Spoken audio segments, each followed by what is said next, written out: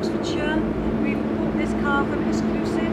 Uh, we're very pleased with it. We've had excellent service from Abdul, who called us many times to keep us in the picture of what was going on.